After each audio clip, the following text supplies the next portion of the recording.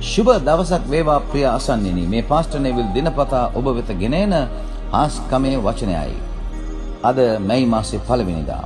යේසුස් ක්‍රිස්තුස් වහන්සේගේ උතුම් වූ නාමෙන් මම ඔබට පළමුව ආශිර්වාද ගෙනෙනවා. ප්‍රිය ආදර දරුවනි අද ජීවනයේ කෑම ශුද්ධ මතේ 12 වෙනි පරිච්ඡේදයේ 22න් සහ 23න් අපි මෙනෙහි කරන්ට යනවා. අපේ තේමාව උනේ යේසුස් වහන්සේට කියූ නාම ඒ වගේම අපි දෙවියන් වහන්සේගේ පුත්‍රයා කියන නාමය අපි අපි මෙනෙහි කරලා හමාරයි. අද අපි මෙනෙහි කරන්නට යන්නේ දාවිද්ගේ පුත්‍රය කියන නමයි. ඒ වගේම අපි ඊයේ දවසේ කපර්නවුමේ ඒ අන්ධයන් දෙදෙනා කොයි විදිහටද ඒ විදිහට ප්‍රකාශ කරේ කියලා අපි ඉගෙන ගත්තා. අද අපි බලමු කොයි විදිහටද මේ ජනකාය ආ නැත්නම් උන්වහන්සේවට හිටපු අය කොයි විදිහටද ප්‍රකාශ කළේ කියලා.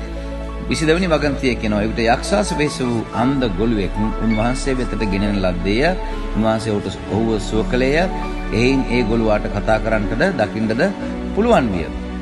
සියලු සමූහයෝ විශ්මපත් වී මුන්වහන්සේ දාවිද්ගේ පුත්‍රයා නොදැයි ඇසුවය. ඔබට තේරෙනවා මේ ස්ථානයේ මේ ස්ථානයේ ප්‍රකාශයකට වඩා ප්‍රශ්නයක් තියෙනවා. ඒක නිසා අපි දැනගන්න ඕන මේ දාවිත් කියන්නේ කවුද කියලා. දාවිත් කියන්නේ කරුණාවන්ත රජෙක්.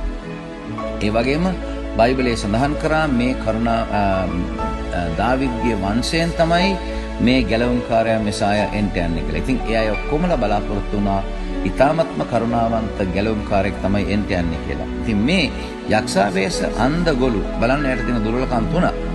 යක්ෂාවේශයි එයසෙන් අන්ධයි එයසෙන් ගොළුයි. එහෙම කෙනෙක්ව යේසුස් වහන්සේ සුව කරපුවම එකපාරටම මිනිසුන්ට හිතුණා මේ දාවිද්ගේ පුත්‍රයා වෙන්න පුළුවන්. ආ ඒකේ ප්‍රශ්නයක් අර ඇහුවේ මුන් වහන්සේ දාවිද්ගේ පුත්‍රයා නෝදයි ඇසුවෝද. ඉතින් අපිට තේරෙන්න ඕන අපිටත් මෙන්න මේ කරුණාව දෙවියන් වහන්සේ දෙන්න යනවා. ඕනෑම ප්‍රශ්නයකින් ඔබට මුදවා ගන්නටත්, ලෙඩ රෝගයකින් මුදවා ගන්නටත් යේසුස් වහන්සේ මෙසායා ගැලවුම්කාරයා ඔබ වෙනුවෙන් ජීවිතය පුද කරපු කෙනාට පුළුවන් ඔබට නිදහස දෙන්න. උන්වහන්සේ ඒ තරම් කරුණාවන්තයි. දාවිද්ට වඩා කරුණාවන්තයි. දාවිද්ගේ පුත්‍රයාට වඩා කරුණාවන්තයි. ඒ නිසා ඔබ විශ්වාස කරන්න ඒ ගැලවුම්කාරයාට කුරුසයට ගිය ඔබ වෙනුවෙන් ජීවිතය පුද කරපු කෙනාට ඔබගේ ස්ථානය ගත්ත කෙනාට පුළුවන් ඔබව මේ හැම දෙයකින්ම නිදහස් කරන්න. ඔබ මොන දෙයට මුහුණ දුන්නත් අද කමක් නැහැ. දෙවියන් වහන්සේ අද ඔබව නිදහස් කරනවා. දේවාශිර්වාදයෙන් පිරි සුබ දවසක් වේවා කියා මා ඔබට ආශිර්වාද ගෙනෙනවා. ඔබ කවුරුණක් කමක් නැහැ. දෙවියන් වහන්සේ ඔබට ප්‍රේම කරනවා. ආමේන්.